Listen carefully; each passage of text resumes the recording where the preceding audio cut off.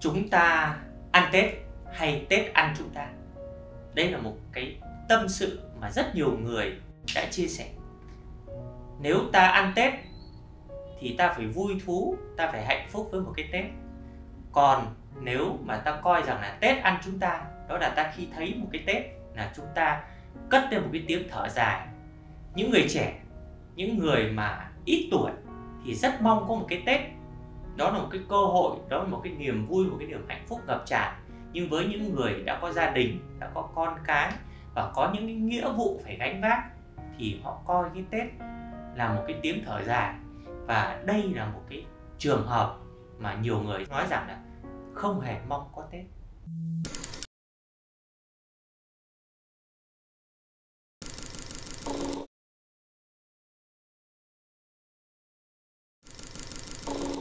Tôi rất nhiều năm tôi nghĩ về vấn đề này.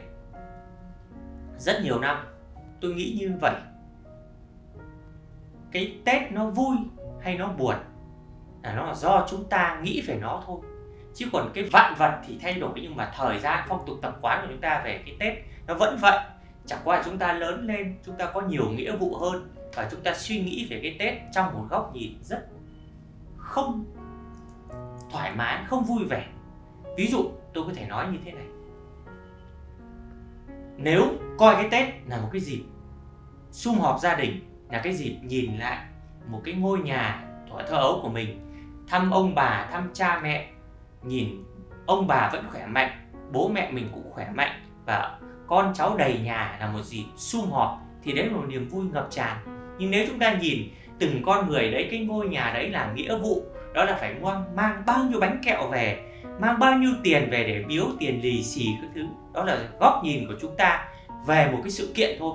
Chúng ta sống quá nhiều cái phong bạt quá nhiều cái vẻ ngoài trong một cái gia đình mà đáng nhẽ là chúng ta sống rất thật như cái thuở ngây thơ của chúng ta như cái thuở tuổi trẻ.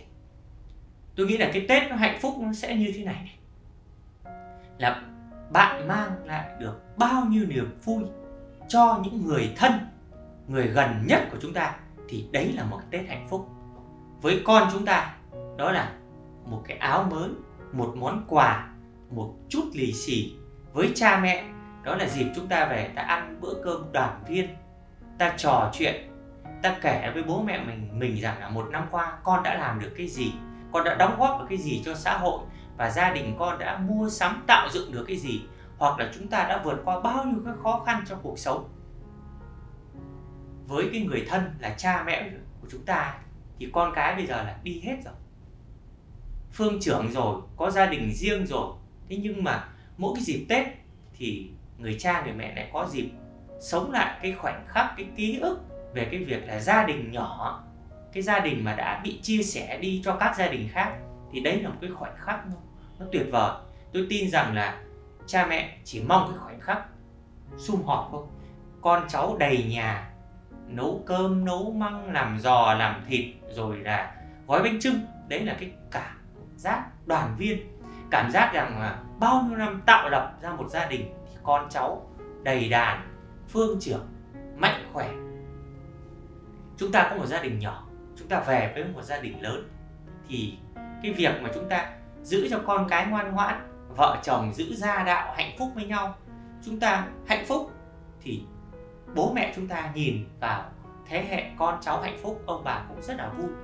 Cái đấy mới là cái việc lớn. Chứ còn cái việc mà chúng ta cứ căng thẳng việc về nội hay về ngoại, rồi là bao nhiêu tiền lì xì, thì đấy là cái việc mà chúng ta sẽ mang một cái cảm giác người ngoài, người xã hội để đối xử với những cái người đáng nhẽ chúng ta đối xử rất thật tâm.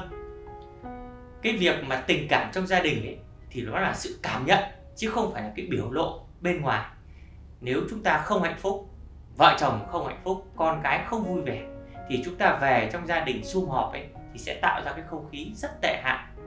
Và tôi nghĩ rằng này, chúng ta hãy mang lại niềm vui cho bố mẹ mình, mang lại niềm vui sum họp cho mọi người trong gia đình. Và đấy là một cái khoảnh khắc đoàn viên hạnh phúc nhất.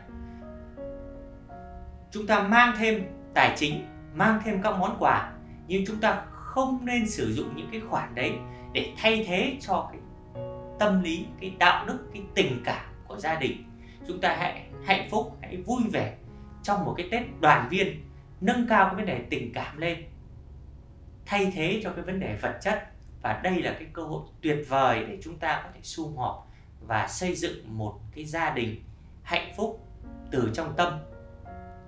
Ăn một bữa cơm, uống một chén rượu, có một lời chúc tết có một cái phong lì xì nhỏ thôi. Chúng ta nghèo chúng ta lì xì ít. Anh chị em chúng ta giàu họ lì xì nhiều. Đấy là cái việc tùy tâm. Tôi uh, nghĩ rằng là cái việc mà chúng ta lì xì 500 nghìn hay lì xì 100 nghìn về bản chất nó cũng chỉ là một lời chúc năm mới thôi. Và có một món quà để giúp cho mọi người có một niềm vui thôi. Chứ không có nghĩa rằng là 100 nghìn nó sẽ hạnh phúc. Ít hơn 500 nghìn. Các cụ ta có một câu như thế này lời chào cao hơn mông cỗ đó, nên là đừng sử dụng vật chất để thay thế cái tình cảm. Mong rằng là chúng ta hãy hướng về gia đình trong cái dịp nghỉ lễ. Có thể chúng ta có ít vật chất hơn, có ít tiền lì xì hơn, nhưng chúng ta về với gia đình nhiều ngày hơn và nhiều niềm vui hơn, thì đấy là một món quà vô giá để chúng ta có một cái tết đoàn viên hạnh phúc. Mong rằng các bạn có một cái tết sum vầy, có một cái tết điền viên có một cái tết hạnh phúc và có một cái tết bản thân bạn cũng có niềm vui. Chỉ khi bạn hạnh phúc, bạn vui vẻ thì cái tết của bạn mới có cái hạnh phúc, có cái vui vẻ. Và đấy chính là một cái niềm hạnh phúc nhất của một cái tết đoàn viên. Xin cảm ơn các bạn.